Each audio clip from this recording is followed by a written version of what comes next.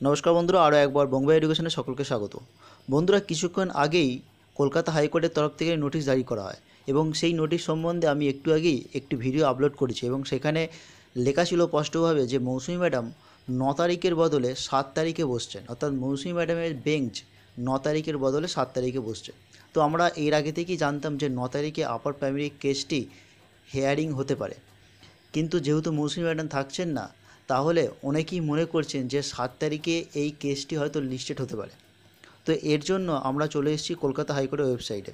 কিন্তু এখনও পর্যন্ত কোনো ধরনের লিস্ট প্রকাশ পায়নি।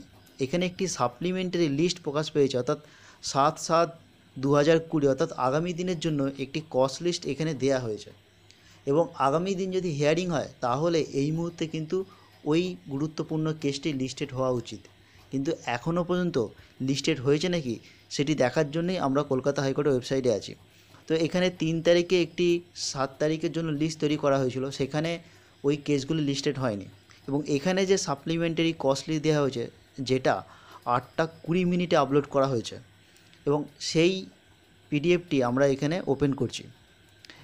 এরপর এখানে দেখুন মোটামুটি ছ থেকে সাতটা পেজ আছে এবং বহু কেস এখানে আছে। তো আমরা সরাসরি এখানে সার্চ করে দেখব, ওই আপার প্রাইমারি গুরুত্বপূর্ণ দুটি কেস এখানে লিস্টেড হয়েছে নাকি? ফাইভ ফাইভ টু ফাইভ দিয়ে প্রথমে দেখলাম এবং এখানে এটা পাওয়া যাচ্ছে না। এছাড়া আরেকটি গুরুত্বপূর্ণ কেস ছিল যেটি হচ্ছে nine five nine seven W সেটিও কিন্তু এখানে নেই। অর্থাৎ কালকে আপার প্রাইমারি কেসগুলি এখনও পর্যন্ত লিস্টেড হয়নি। তো কালকে যদি হিয়ারিং হতো, তাহলে এখন হয়তো একটি কস্ট লিস্ট এখানে দেওয়া হতো এবং সেখানে এই গুরুত্বপূর্ণ কেসগুলি লিস্টেড হতো।